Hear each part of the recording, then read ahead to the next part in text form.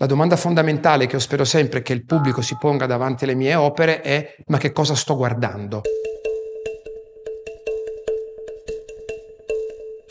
Diciamo che sono sostanzialmente una sorta di investigatore della fantascienza. Sono disperatamente alla ricerca della possibilità di capire come sarà fatta la forma della nostra vita nei prossimi 20, 30, 40 anni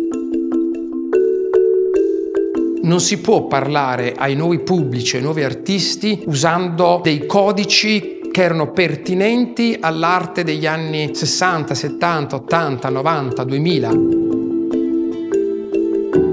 Bisogna capire che gli apparati e dispositivi culturali cambiano molto più rapidamente dei contenuti, della forma dell'opera.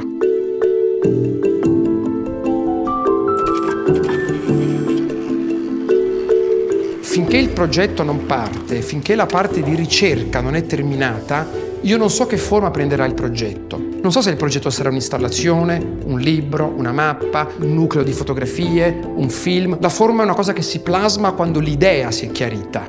Non esiste nessuna forma di oggettività nel mio lavoro. Tutta la narrazione viene piegata all'esigenza finale.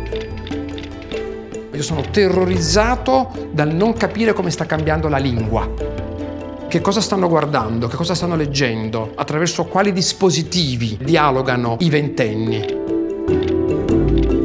Chiunque oggi si avvicina all'arte, sia come spettatore, sia come pubblico, ha molto chiaro che l'arte è una scatola di giocattoli, dalla quale ciascuno prende ciò che gli piace.